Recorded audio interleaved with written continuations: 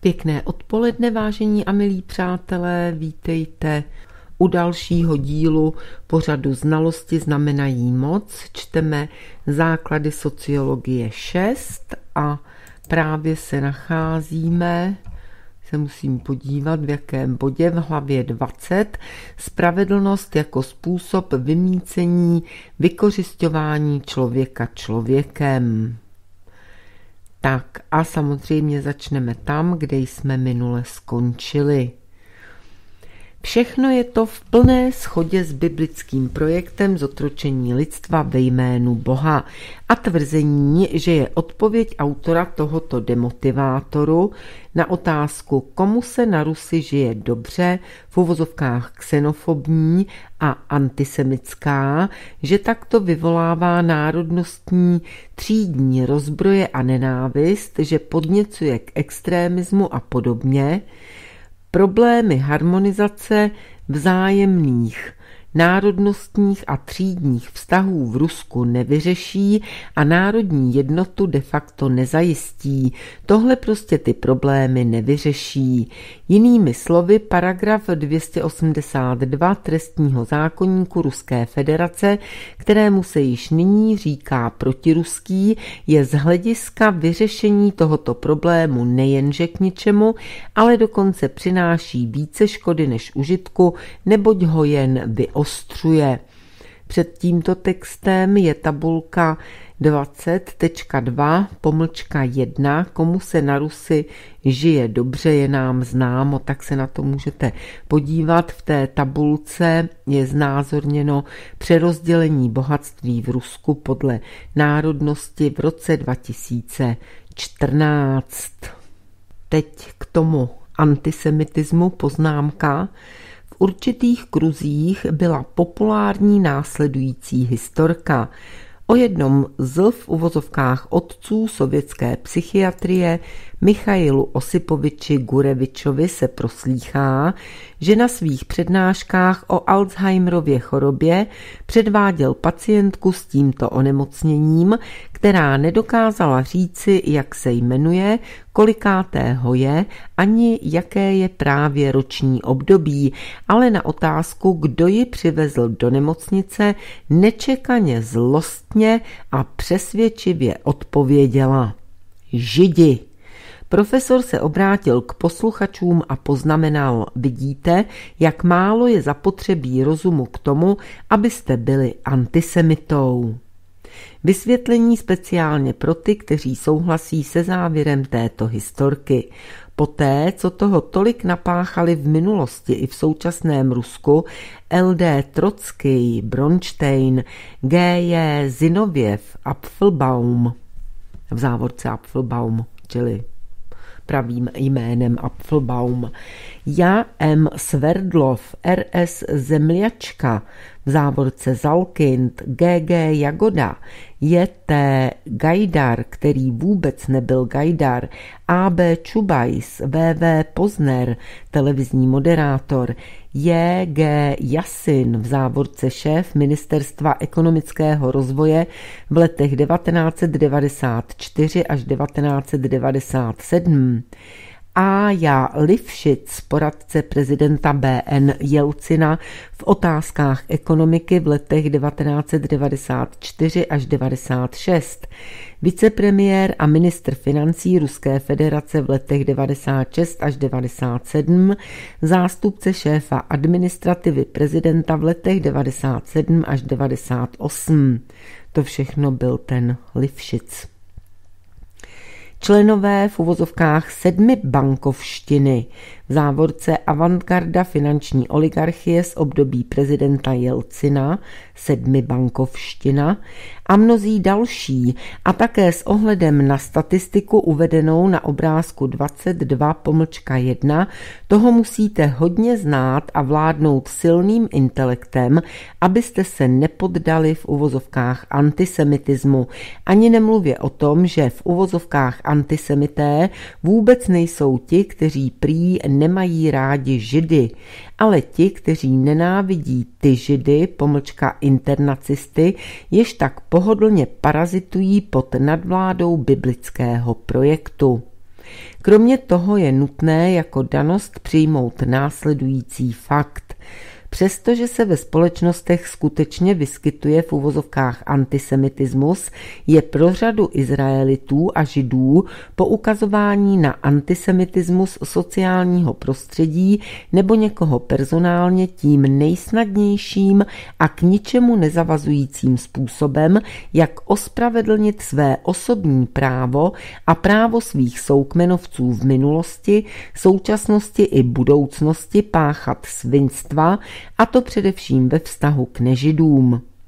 Co se týká té statistiky uvedené na obrázku 20.2 pomlčka 1, tak když byla zveřejněna a stala se předmětem diskuze, jeden z předních buržoustů pomlčka liberálních mravokárců NK Svanidze v souvislosti s tím vyjádřil svou spokojenost neboť zajímat se o národnost a to ve vztahu k jakékoliv otázce je ve v uvozovkách slušné společnosti nepřípustné. A vracíme se zpátky k základnímu textu ale ani ta statistika uvedená na obrázku 20.2 pomlčka 1 neposkytuje úplnou představu o systému vykořišťování v uvozovkách člověka člověkem a jeho národnostním aspektu, který se sformoval v postsovětském Rusku navzdory tomu, že Ústava Ruské federace z roku 1993 vyhlašuje Práce je dobrovolná, článek 37, část první, což předpokládá vymícení vykořišťování člověka člověkem. Pro úplnost obrázku je nutné statistiku z obrázku doplnit ještě několika dalšími statistikami. Zastoupením různých národností žijících v Rusku ve skupině chudých tady k tomu je hned poznámka, tak si ji přečteme. Kritéria chudoby, to je na zvláštní téma. Souvisí to s typologií rodiny.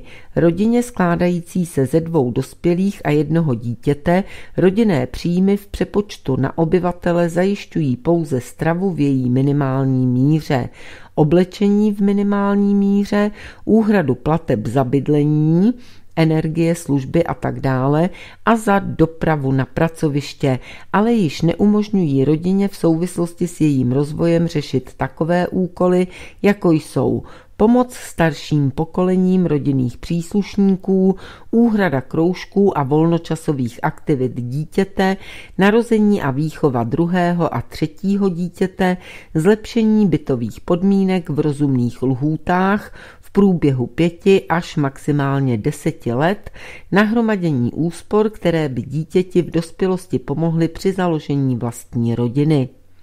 Narození druhého a třetího dítěte může v řadě případů rodinu skládající se ze dvou dospělých a jednoho dítěte, která podle daného kritéria do kategorie chudých nespadá, uvrhnout do bezútěšné chudoby. To samé se může stát, jestliže někdo ze starších členů rodiny dosáhne penzijního věku. Tady k tomu bych jenom dodala, že v letošním a něco už i v loňském roce bylo přijato mnoho úprav právě ve smyslu podpory rodiny, takže dnes mladé rodiny dostávají určité finanční částky při narození druhého a dalšího dítěte a ještě tam byly nějaké další sociální výhody, na které si teď už nevzpomenu. Tady ty údaje jsou z roku nevím kterého přesně, ale celá ta publikace Základy sociologie 6 je z roku 2000. 16, takže došlo v Rusku ke zlepšení. Vrátíme se zase zpátky. Pro úplnost obrázku je nutné statistiku z obrázku doplnit ještě několika dalšími statistikami. Zastoupením různých národností žijících v Rusku ve skupině chudých zastoupením různých národností žijících v Rusku za prvé ve státním aparátu v mocenských funkcích, bez započtení jejich zastoupení ve funkcích technického a obslužného personálu, za druhé ve vedení podniků ve státním i soukromém sektoru s návazností této statistiky na statistiku obchodního obratu těchto podniků, za třetí v bankovním systému na federální úrovni v mocenských funkcích opět bez technického a obslužného personálu. Další bod. Statistikou přítomnosti zástupců různých národností na federálních televizních a rádiových kanálech na pozicích scénáristů, moderátorů i odborníků v programech věnovaných všeobecně kulturní, politické, globální, vnější, vnitřní a finančně ekonomické tématice. Poznámka tuto statistiku doprovází jedna zajímavá zamlčovaná skutečnost. Židovský intelekt je zastoupen určitou statistikou na federálních televizních kanálech takovými osobami, jako je VV Pozner, VV Solovyov, AN Archangelský a další. Každý z nich je prvkem množiny ležící v základu statistiky.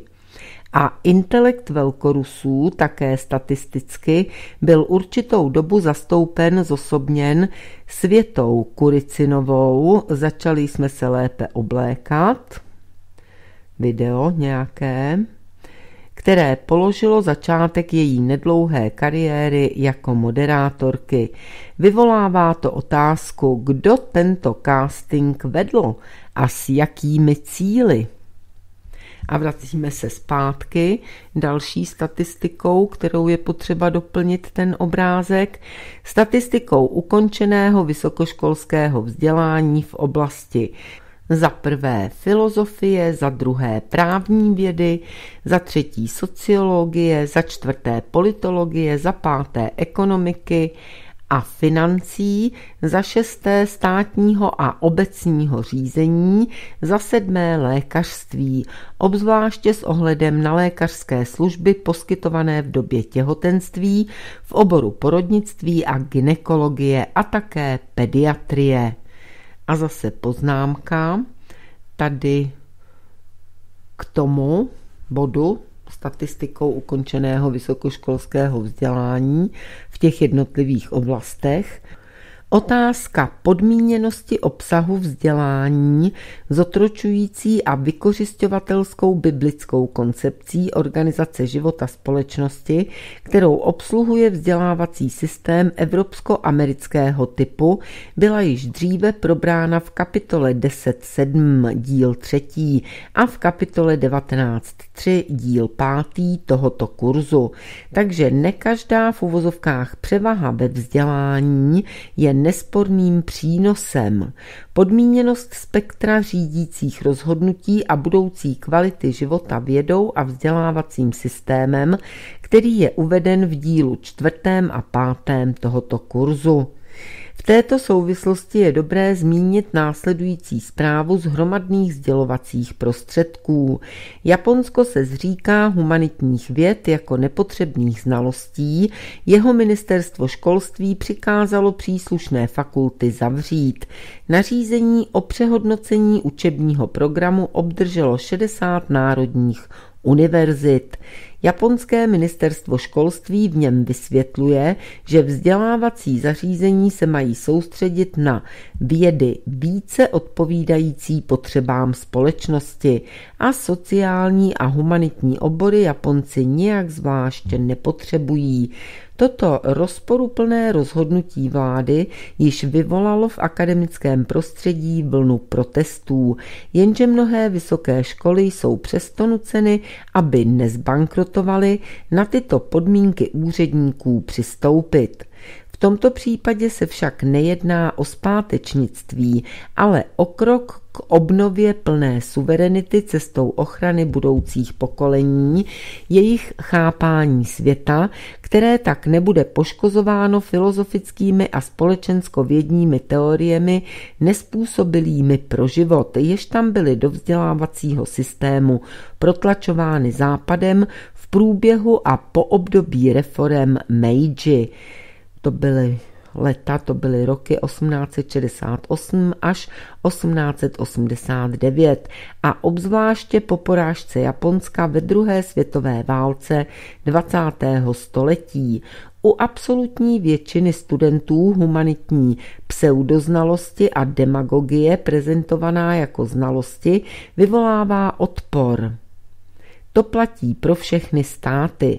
V Japonsku si jinak ti, kteří projeví zájem o humanitní problematiku, mohou osvojit příslušnou japonskou národní tradici osvětlování humanitní problematiky s kořeny vedoucími až do japonského starověku. Takže díky tomuto zřeknutí se v uvozovkách o humanitního vzdělání všeobecně západního typu japonská společnost výhledově přestane být zvnějšku manipulovatelná prostřednictvím zákonitosti znázorněné na obrázku 13.1.1 díl 4. a díl 5. tohoto kurzu. A vrátíme se zase zpátky. Další statistika která by měla doplnit ten obrázek, je statistika zastoupení různých národností v produkčních, scénaristických a režisérských společenstvích. Za prvé televize, za druhé film a za třetí divadlo. Poté s ohledem na to, že náš stát pořád setrvává ve vleklé krizi svého všeobecně kulturního a ekonomického rozvoje, bude zřejmé, jaké národy Ruska a jaké sociální skupiny v jejich sestavě jsou objektem vykořišťování a kdo je nástrojem realizace tohoto útlaku, vykořišťování a destrukce státu, který je všem společný. A proč tak velký velký podíl obyvatelstva našeho státu hodnotí postsovětskou státnost jako celkově protilidovou a jmenovitě protiruskou. Také je dobré se zamyslet nad výhledovou reakcí sociální psychodynamiky na takový stav věcí. To znamená, že je problém nespůsobilosti internacisticky liberálního multikulturalismu, což je jedna z modifikací internacismu, aktuální i pro Rusko, nejen pro Evropskou unii. Jestliže se blíže podíváme na globální ekonomiku, tak zjistíme, že vykořišťování v uvozovkách člověka člověkem a rozdělení národů na vykořišťovatele a vykořišťované je jevem globálního měřítka a konkrétně je to znázorněno v tabulce uvedené níže pod názvem v uvozovkách osoby tržní ekonomiky. Tak se podíváme na tu tabulku orientované na spotřebu.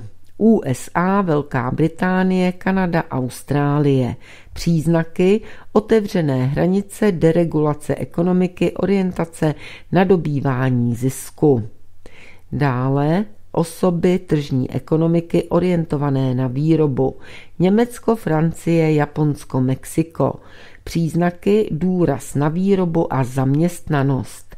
Dále osoby tržní ekonomiky orientované na rodinný kapitalismus. Tajván, Malajzie, Tajsko, Indonésie. Příznaky Rozvoj díky čínské diaspoře, kapitál v rukou jednotlivých rodin a potom státy v přechodu, Čína, státy společenství nezávislých států. Příznaky vlády napomáhají přechodu k tržní ekonomice, roste vrstva podnikatelů.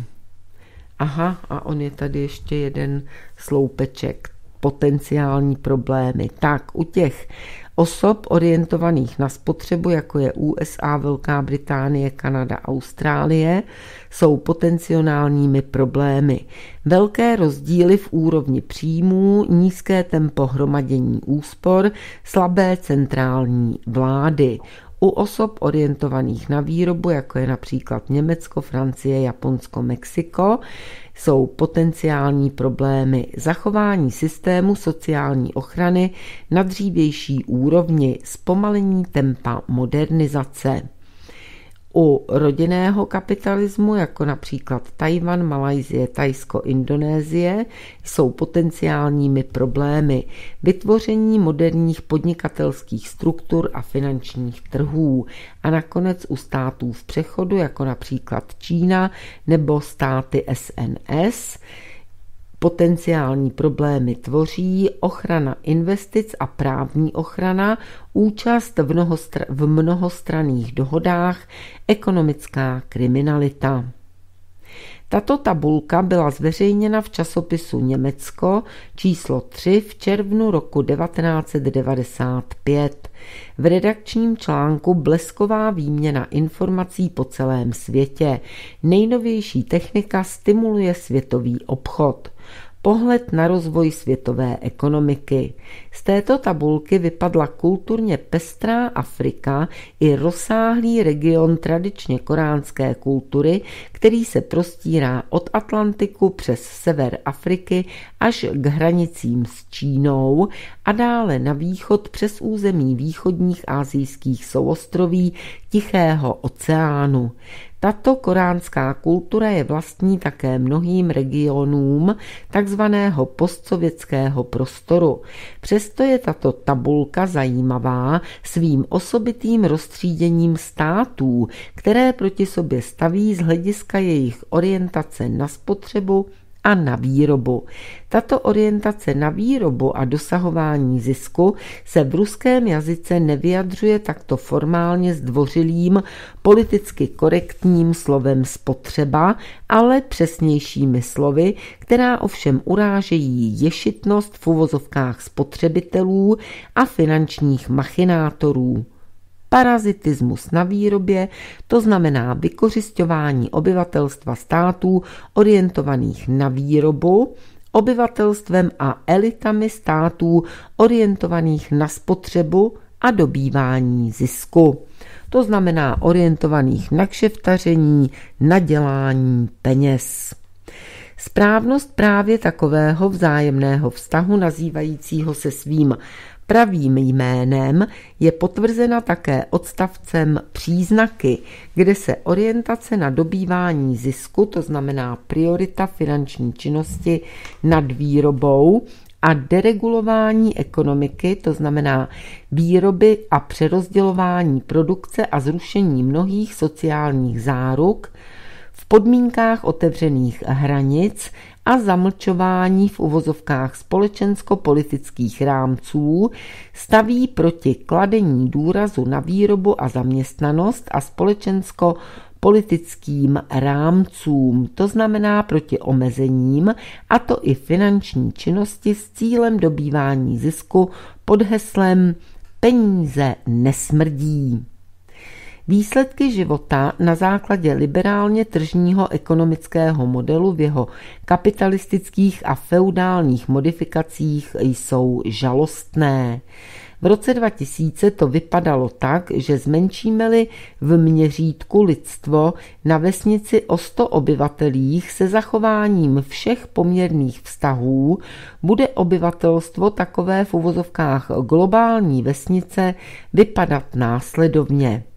Aziaté 57, Evropané 21, Američané severní i jižní 14, Afričané 8, ženy 52, muži 48, barevní 70, bílí 30, heterosexuální 89, homosexuální 11, 59% bohatství v uvozovkách vesnice náleží šesti, všichni jsou z USA, Normální podmínky k bydlení nemá 80 lidí, negramotných je ve vesnici 70 lidí, pod výživou trpí 50 lidí, ročně umírá jeden, ročně se rodí dva, počítač má jeden, vysokoškolské vzdělání má 12 lidí. A v případě pokračování globalizace založené na idejích buržoázního liberalismu výhledově neexistuje žádný předpoklad ke zlepšení kvality života pro více než 95% obyvatel této v uvozovkách globální vesnice a jejich potomky. Od doby publikace této analogie globální civilizace s vesnicí uplynulo 15 let a situace se jen dále zhoršila. Mezinárodní dobročinná organizace Oxfam se před zahájením dalšího celosvětového ekonomického fóra v Davosu v lednu 2015 pokusila jak je její tradicí přitáhnout pozornost k rostoucí nerovnosti ve světě. Výzkumy združení dokládají, že podíl světového bohatství náležejícího těm nejbohatším lidem 1% vzrostl ze 44% v roce 2009 na 48% v roce 2014 zatímco ti nejchudší, 80% lidí, to je těch nejchudších, ve stejné době disponovali pouze 5,5% světového bohatství, informuje ruská služba BBC. Půjde-li to takto dál, v roce 2016 bude 1% obyvatel země disponovat větším bohatstvím než zbylých 99% varuje Oxfam. Přičemž již v roce 2011 byly zveřejněny následující údaje. Odborníci na systémovou analýzu ze švýcarské vysoké technické školy v Cirichu sestavili seznam 147 světových korporací, které kontrolují 40% globální ekonomiky a de facto jsou světovou ekonomickou vládou. A tak ta skutečnost, že absolutní většina obyvatelstva země nezískává výchovu a vzdělání důstojné člověka a existují i regiony, kde většina obyvatelstva nedosahuje úrovně spotřeby, jež by vylučovala jeho biologickou degradaci, což vede k jeho vymírání v důsledku hladu a nemocí, je objektivním ukazatelem toho, že ta mimořádně bohatá menšina, tvořící několik procent z obyvatelstva planety, není schopná nakládat se svým bohatstvím a sociálním postavením tak, aby to přinášelo prospěch rozvoji globální civilizace. Nezbývá proto, než ji hodnotit jako jednoznačně agresivně parazitickou sociální skupinu. To znamená, že vykořišťování člověka člověkem s průvodním jevem v podobě národního utlačování je globálním problémem jen dále vyostřovaným buržoázně liberálním multikulturalismem. A projevuje se to tak, že většina obyvatelstva země živoří v bídě, a primitivismu a neotevírají se jí žádné možnosti pro svůj rozvoj, díky čemuž mají davoelitářské státy vyspělé ve vědecko-technické oblasti možnost bez užitku promrhávat zdroje planety a lidstva. Nacionalistické a nacistické recepty na vyřešení problému nespůsobilosti buržoázně liberálního multikulturalismu jsou schopny řešit s některými výhradami tento problém vzájemné nevraživosti pouze v mezích mononárodnostního státu s v uvozovkách nadřazenou národností, metodou odstraňování v uvozovkách cizorodých prvků na počátku z v uvozovkách právního pole a v konečném důsledku i ze sociální struktury prostředky nucené asimilace dětí, vyhnání nebo genocidy všech v uvozovkách podřadných, ale dokonce i v případě kdy ponecháme stranou mravně etickou zvrácenost takového přístupu, tak tyto recepty v podstatě nejsou schopny v globálním měřítku vyřešit problém nespůsobilosti multikulturalismu v davoelitářské společnosti,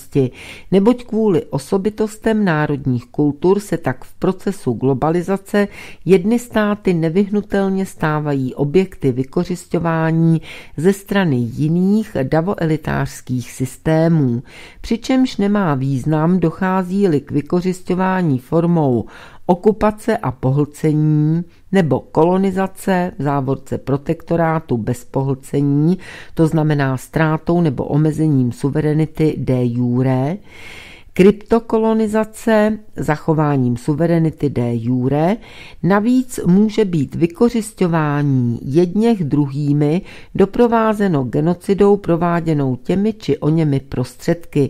Všech šest priorit zobecněných prostředků řízení, lomeno zbraní, může být využito ke genocidě i k vyvolání sebegenocidy. Tento problém nedokáže vyřešit ani internacismus ve formě pseudosocialismu, jak, doká, jak dokládá zkušenost poststalinského sovětského svazu. Státnost jako subkultura společenského samořízení založeného na profesionalizaci může buď udržovat systém vykořišťování člověka člověkem, obnovovat a zdokonalovat ho v návaznosti pokolení nebo může pracovat na jeho vykořeňování. Přičemž to platí jak v měřítku vnitrostátním, tak i v nadnárodním a globálním. Věda a vzdělávací systém chápané jako společenské instituce mohou státnosti pomáhat jak v zavádění a zdokonalování systému vykořišťování člověka člověkem, tak i v jeho vykořeňování.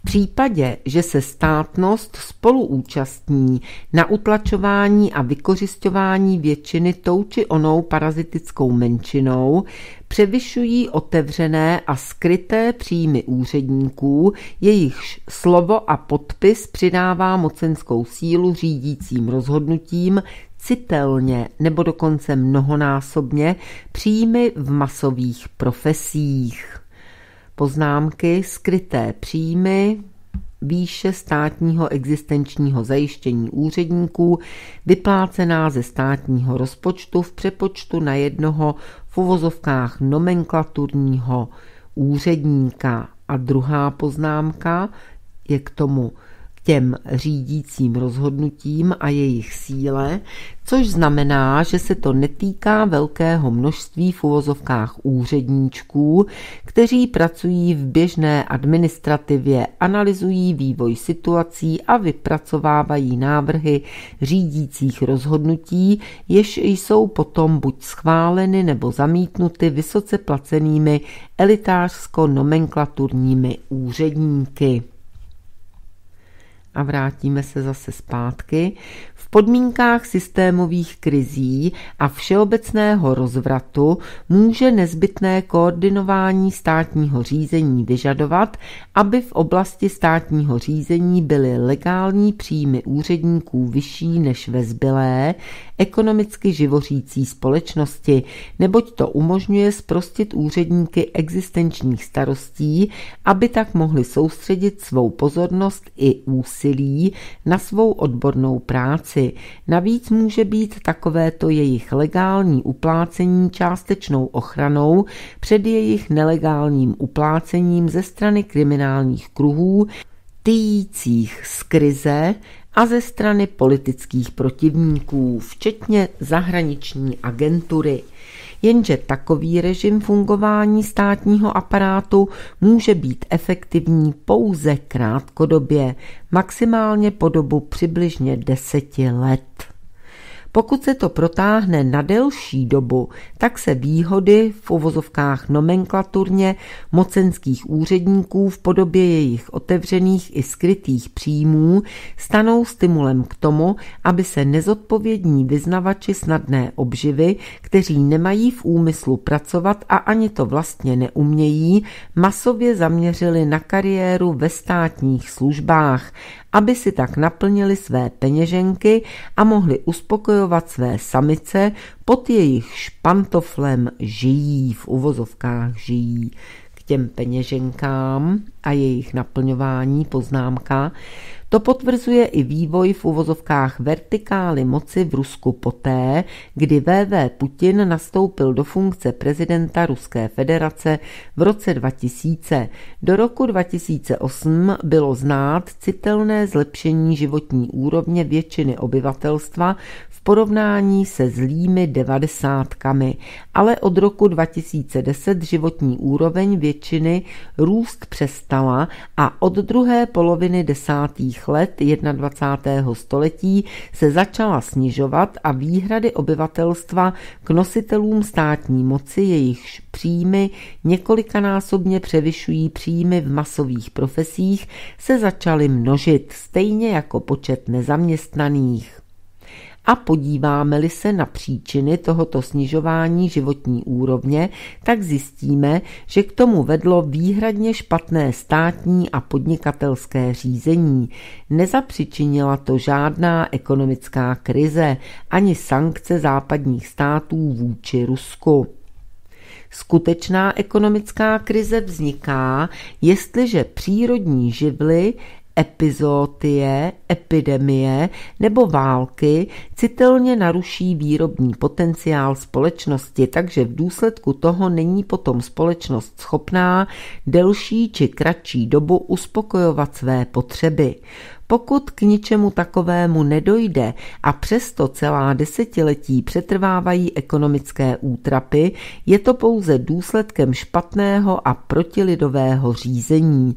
No a jednou z příčin takového řízení je nekompetentní, slaboduchý a mravně eticky pokleslý řídící sbor ve státnosti i biznisu. Dostat se z takové krize je možné prostřednictvím adekvátního řízení, díky němuž může krize skončit do pěti až deseti let. Příkladem tomu je obnova SSSR, kdy bolševici svým řízením dokázali odstranit následky občanské války i velké vlastenecké války. Za to liberálové jsou schopni jen špatného řízení, jinak by nebyli liberály a vrátíme se zase zpátky. V této souvislosti se ještě jednou podíváme na knihu Vladimíra Ilíče Lenina Stát a revoluce, kterou napsal společně s G.J. Apfelbaumem Zinověvem v Razlivu což je rekreační oblast pod Petrohradem. V létě roku 1917 její rozbor byl v Sovětském svazu součástí všech kurzů dějin KSSS a vědeckého komunismu. Na příkladu komuny Marx předvedl, že za socialismu funkcionáři přestávají být v uvozovkách byrokraty, přestávají být úředníky, přestávají jimi být v míře zavádění kromě jejich volitelnosti ještě i odvolatelnosti v jakoukoliv dobu a navíc po snížení mzdy na průměrnou dělnickou úroveň a po nahrazení parlamentárních institucí funkčními institucemi, tedy takovými, které vydávají zákony a uvádějí je do života. Marx uviděl v praktických opatřeních komuny ten zlom, kterého se, aniž si to chtějí přiznat, bojí oportunisté kvůli své zbabělosti, kvůli své nechuti nenávratně se rozejít s buržoází. A teď autoři k tomu. V 80. letech 20. století citování tohoto úryvku z práce zakladatele sovětského státu uvrhovalo do mlčenlivé zasmušilosti přednášejícího na jakémkoliv semináři v systému politického studia, neboť ten citát usvědčoval celý režim jako protilidový parazitický systém jednající všude prostřednictvím svých v uvozovkách pěšáků, kteří se podobali přednášejícímu v semináři. Pokud by se přednášející v semináři pokusil dokázat, že V.I. Lenin v této věci neměl pravdu, znamenalo by to, že by si sám pěkně naběhnul, a to i v případě, že by se pokusil v uvozovkách zaútočit na politického aktivistu, který veřejně uvedl v uvozovkách nevhodný citát. Zamyslíme-li se nad možnostmi realizace těchto principů výplaty mzdy za práci v orgánech státní moci, jak je popsal V.I. Lenin, v politickém životě společnosti, je dobré si uvědomit, že praktická opatření pařížské komuny byla ve vztahu k jejich popisu klasiky marxismu primární a ve své podstatě se tedy nejedná o žádné fantazírování. Z hlediska dostatečně všeobecné teorie řízení se pařížská komuna snížením mzdy řídících pracovníků na průměrnou úroveň v odvětví materiální výroby v závorce v reálném sektoru pokusila o uzavření zpětných vazeb společenského řízení na pracující většinu a odpojila je tak od vysoce příjmových skupin elit jak národních, tak i nadnárodních, internacistických. Komuna se zhroutila, neboť ti, kteří byli ochotni vykonávat řídící povinnosti za podmínek, které jim nabízela, neměli v řízení potřebnou kvalifikaci a ti, kteří tu potřebnou kvalifikaci měli, zase překypovali elitářskými ambicemi a viděli v pařížských dělnících pouze bezuzdnou lůzu, dobytek, který je zapotřebí co nejrychleji zahnat zpátky do jeho chlívků což znamená, že nebyli mravně eticky připraveni k tomu, aby řídili společnost na základě životních zájmů většiny a žili přitom způsobem, kdyby se vrstva profesionálních řídících pracovníků svou kvantitativní ani kvalitativní spotřebou produkce nevyčlenovala ze zbytku společnosti. I když Sovětský svaz existoval mnohem déle než pařížská komuna, 69 let a 73 dnů přesně, byly příčiny jeho krachu stejné, pro poststalinskou byrokracii a její vývěsní štíty počínaje NS Chruščovem a konče MS Gorbačovem a BN Jelcinem byly nepřijatelné mravní principy a etika rovnosti lidské důstojnosti v kolektivní práci a ve spotřebě kolektivně vyprodukovaných statků a i v případě, že se jednalo o idioty, kteří nechápali, kam míří, to byla právě jejich parazitická mravnost, etika nikým, neomezované své vole a v uvozovkách spotřebitelská nemoc, které určily směřování a cíle přestavby. A ty řeči o tom, že všichni vysocí státní úředníci vykonávají velice důležitou práci, jejichž podstatu v uvozovkách prostí smrtelníci nejsou schopni pochopit, že nesou velkou odpovědnost za výsledky své práce, že velmi mnoho pracují a proto musí být jejich práce odměňována podstatně více než práce absolutní většiny, jsou jen hloupými žvásty. Tady k tomu poznámka. Šéf politické odborné skupiny Konstantin Kalačev vyzval Rusy, aby nezáviděli úředníkům, poslancům a senátorům, jejichž mzdy v minulém roce bez ohledu na ekonomickou krizi značně stouply – ano, za krizový rok se mzdy pracovníků Rady federace zvýšily o 42,2% a jejich kolegů ze státní dumy o 30,7%. Mezi ministerstvy k největšímu nárůstu mest došlo na ministerstvu zahraničí o 29,9%, na 148,2 tisíc rublů. Ale těmto lidem a obzvláště pracovníkům Ministerstva zahraničí Ruské federace vzrostla i pracovní zátěž. Není tedy proč jim závidět, vysvětlil ura.ru Kalačev.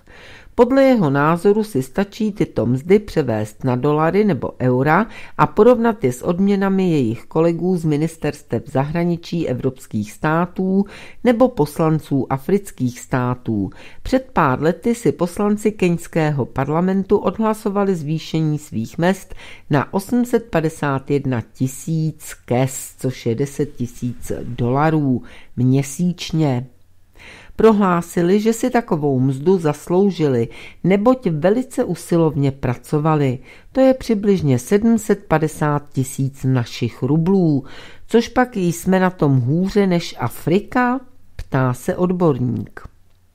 Podle jeho názoru je v uvozovkách život u nás daleko dražší než v Keni. I zima je u nás surová. Zákonodárci se musí dobře stravovat a teple oblékat, aby psali dobré zákony. Mně jako voliči těch peněz pro ně líto není, přiznal se Kalačev. Šéf Centra ekonomických a politických reform Nikolaj Mironov řekl, usr.ru, to je nějaký server, řekl, že takové informace nevyhnutelně vyvolají negativní reakci, protože průměrná mzda v našem státě je přibližně 30 tisíc rublů, což spíše vypadá na značně vylepšený výsledek, který sotva odpovídá skutečnosti. V Moskvě okolo 60 až 70 tisíc. Ten skokový rozdíl v peněžním zajištění úředníků a obyvatelstva je příliš velký, aby se dal přehlédnout, přičemž ve výši odměn vede výslovně aparát vlády, který má na starosti přípravu protikrizových opatření, a to včetně v oblasti životní úrovně obyvatelstva. A toto opatření a tato opatření dosud žádná nejsou přiznal Mironov. Podle jeho slov se takováto výše konečných mest odvíjí od prémií, motivačních a dalších příplatků k základní mzdě. Takto se u nás postupuje často. Mzdu formálně snižují, ale fakticky zůstává stejná nebo dokonce roste. To samé platí pro počet úředníků, který je formálně snižován, ale fakticky se v uvozovkách ruší uvolněné pozice a potom jsou vytvářeny nové, takže počet úředníků místo snižování narůstá, vysvětlil ve svém rozhovoru poskytnutém agentuře. Zároveň první náměstek vedoucího frakce LDPR ve státní dumě Alexej Didenko v komentáři zase tomu serveru ura.ru popřel informaci o zvyšování mest. Je to kachna sociálních sítí, která už na nich obíhá rok. Ve státní dumě se objevily zlaté padáky, proto mzdový fond vzrostl, ale my jsme proti tomu, přiznal poslanec. Jak již víme z dřívějška, tak v roce 2015 pracovníci federálních státních orgánů průměru dostávali 111,3, čili tak toto řeknu, 111 300 rublů měsíčně. Růst mest v porovnání s rokem 2014 činil 2%. Lídry mezi úředníky nehledě na snižování mest o 7% zůstávají pracovníci aparátu vlády, jejichž průměrná mzda činí 231 800 rublů. Takové údaje uvádí Rostat prezidentově administrativě se porůstu o žádná celá 7 desetin procenta v roce 2014 mzda snížila o 6,5 procenta průměru tam úředníci měsíčně dostali 217 200 rublů. Průměrná měsíční mzda v Radě federace v roce 2015 činila 173 900 rublů, což je růst o 42,2%. Ve státní dumě 137 tisíc rublů růst o 30,7%. Takové vysvětlení může být přesvědčivé jen pro debily a je buď vyjádřením debilismu nebo nestydatosti. Tak já bych řekla, že asi obojího. vracíme se zase zpátky. Končili jsme u toho, že ty řeči, že úředníci musí být více odměňováni, protože velmi mnoho pracují, jsou jen hloupými žvásty.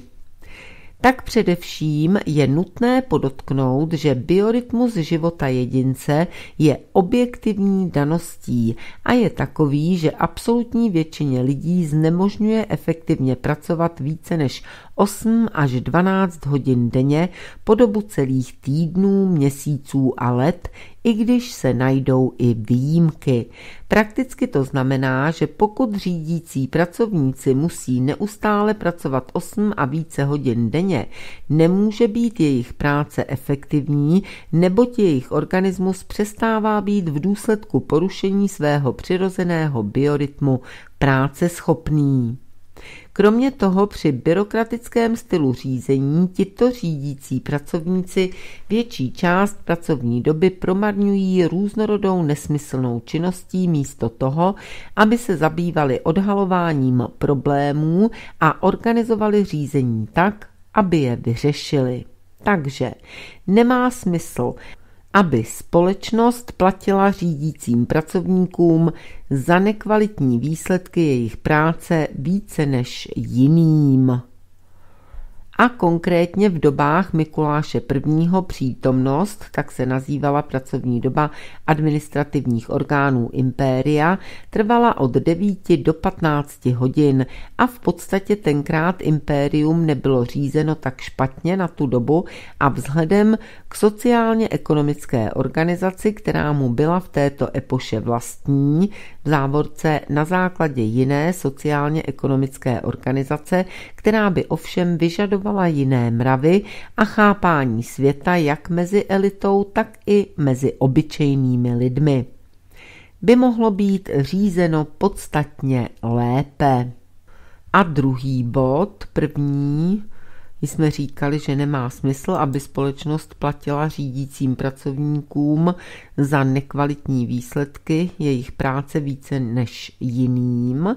A druhý bod a navíc, je-li člověk zaměstnán 12 a více hodin denně po dobu celých týdnů, měsíců a let, nemá čas na utrácení peněz, čímž se jeho mzda stává bezpracným ziskem členů jeho rodiny a parazitů k ní přisátých, takže pro společnost opět postrádá smysl tento jejich parazitismus podporovat. Co se týká v uvozovkách odpovědnosti, tak reálnou odpovědnost za výsledky své práce nesli úředníci za J.V. Stalina, přestože ne všichni, kteří by si to zasloužili a navíc někteří zneužívali moc takovým způsobem, že za výjimky svých chyb a zneužívání moci v zájmu těch či o něch mafiánsko-byrokratických skupin bojujících o moc označovali absolutně nevinné lidi. V dobách, které potom následovaly, se už nikdo ze společensko škodlivých následků svých rozhodnutí nezodpovídal správní ani soudní cestou. Za výsledky své práce a ze zneužívání moci a svého služebního postavení se zodpovídali velmi zřídka kdy a spíše se v takových případech jednalo o zúčtování v meziklanových třenicích, než že by šlo o uplatňování zákonnosti jako životní normy. MS Gorbačov, N.I. Ryškov a B.N. Jelcin, P.S. Gračov a A.V. Kozirev, A.B. Čubajs, J.G. Jasin a a. Ja Livšic a mnozí další, minulí i stávající, se nezodpovídali z ničeho a nijak se ze svých neúspěchů nepoučili. Předtím si carští úředníci svou nekompetentnost a zneužívání moci trvající několik pokolení zodpověděli za revoluce v roce 1917. Toto pokolení úředníků prostě v uvozovkách mělo smůlu, neboť oni sami i jejich předchůdci dohnali svým řízením stát až k revoluci. Dějiny dokládají, že příliš vysoké příjmy řídících pracovníků nevyhnutelně vedou k pádu kvality řízení v měřítkách společnosti. Tak, vážení přátelé, naprosto souhlasím. Ještě jednou zopakuji tu poslední větu, protože je hodně důležitá. Dějiny dokládají, že Příliš vysoké příjmy řídících pracovníků nevyhnutelně vedou k pádu kvality řízení v měřítkách společnosti. Tak vážení a milí přátelé, to je z dnešního pořadu. Znalosti znamenají moc ze základů sociologie 6. Všechno a zítra budeme opět pokračovat. Děkuji za pozornost.